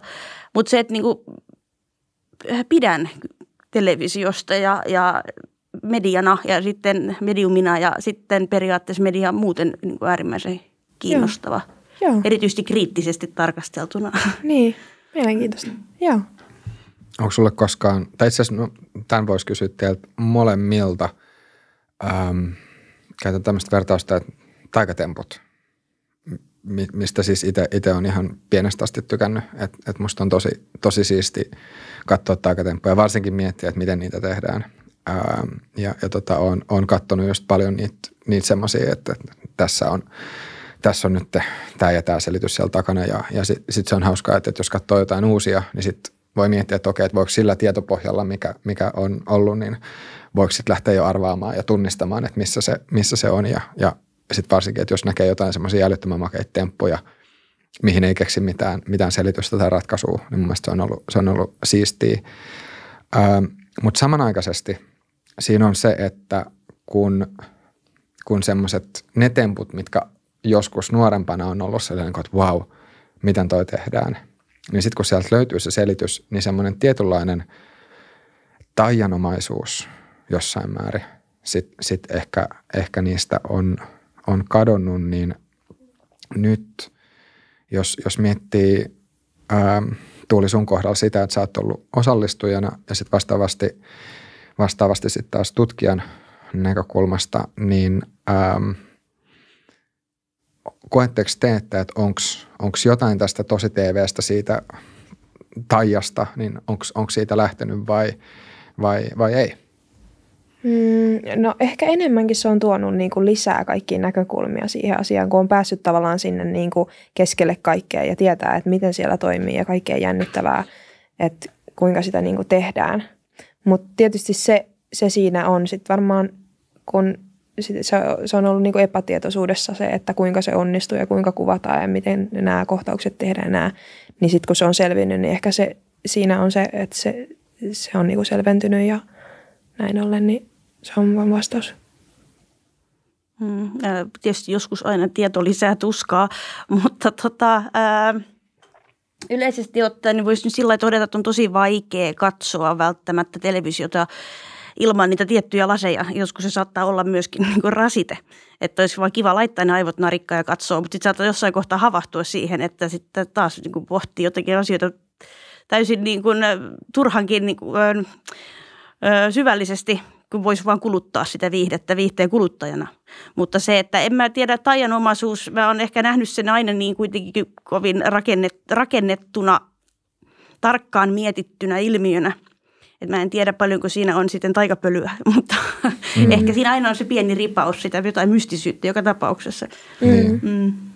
Niin toi on kyllä mm. just se, että jos, jos taas näke, pääsee näkemään enemmän, niin se, se voi lisätä sitä mielenkiintoa itsessään ja, ja, ja innostusta, mutta mutta just toi, että, että jos, on, jos on kerran analysoinut tietyt asiat silleen juuria myöten, niin että et, et kuinka helppo niitä tutkijalla se ja sitten on, on jättää pois ja, ja viihtyä ja, ja, ja näin. Et, et, joskus on miettinyt, että jotain, jotain tota, ää, muu, niin musiikkikriitikoita, jotka kirjoittaa levyarvosteluja ja varsinkin ne, jotka kirjoittaa kauhean semmoisia negatiivisia arvo, arvioita, että onko semmoinen – äh, rokkipoliisi vai miksi, miksi näin tuota, tyyppejä voi sanoa, että, että, että jos, jos kaikkea kuuntelee tosi kriittisesti, niin ku, kuinka helppo sitten on ihan vaan niin. nauttia. Mm. Se, on, se on ihan jännä kysymys. Että, ähm, mutta miten muuta sul, sulla äh, tuoli menee, että nyt, nyt kun sä oot ollut osallistuja, niin siis kato, kuinka paljon sä vielä tällä hetkellä itse katot tosi TVtä? Kyllä mä katon joo, että et miten nyt itseltä kiireeltä ehtii ja näin ollen, mutta kyllä mulla on edelleen ne samat ohjelmat, niin kuin Tempparit ja Ex on the Beachit ja nämä, mitkä on aina, aina, aina ollut. Niin tota, kyllä ne on edelleen sillä tavalla, niin kuin katson niitä. Et kyllä, mä, kyllä se, se ei ole niin kuin lähtenyt mihinkään se innostus niihin. Mm. Päinvastoin ehkä enemmän sille on alkanut miettiä, että miten jos tohonkin ja tavallaan mm. tämmöisiä. Niin, että miten, miten olisi itse reagoinut tai miten olisi itse, itse tota toiminut tietyssä tilanteessa. Mm. Ah. Joo. Joo. Okei. Ähm, onko jotain semmoisia, voisiko sanoa yhteenvetäviä ajatuksia? Nyt tässä on aika, aika paljon kaikesta ehditty puhua, puhua mutta et jos, jos vielä summaisi tätä otsikkoa, että mikä, mikä tosi TVssä kiehtoo, mikä siinä viehättää? No sen monimuotoisuus ja se, kuinka, kuinka sitä voi – voi lähteä kasvattaa jopa ihan niin kuin äärimmilleen, eikä sillä ole tavallaan mitään sellaista niin kuin suuntaa. Se saattaa niin kuin mennä ihan, ihan. että se on jännä, jännä, millä se tulevaisuudessa sitten tulee, tulee muuttumaan ja vaikuttaa ihmisiin. Et jännä, jännityksellä odotan kyllä, että mitä, mitä tapahtuu. No kyllä se, niin kuin mainittu, niin ne tunteet ja se melodramaattisuus sen ympärillä on se, mikä tietysti myy myy ehkä eniten, mutta semmoisena ehkä lisäkaneettina, että tavallaan tietty provokatiivisuus, mikä tosi TVtä helposti leimaa näiden, näiden niin rafalaavampien formaattien vuoksi, niin se on kuitenkin semmoinen ilmiö, että se on nähtävissä myös muissakin niin kuin TV-ohjelmien genrejen parissa, että ihan asiaohjelmissakin, jos lähdetään niin kuin ruotimaan nykypäivänä, niin mehän haetaan, taikka sitten klikki, ää, klikkimedia ja tämän tyyppinen, mehän haetaan huomioon ja me halutaan niin kuin hätäkähdyttää ihan myös niin kuin tosi TV-formaatin ulkopuolella. Että tämä on, löytyy niin kuin ihan, ihan ää, asiaohjelmienkin tietyistä, ää, voisiko sanoa, pelikeinoista paikoin. All right. Mutta hei, Tuuli ja Pauliina, oikein paljon kiitoksia molemmille vierailusta ja kiitoksia kaikille katselijoille ja kuuntelijoille.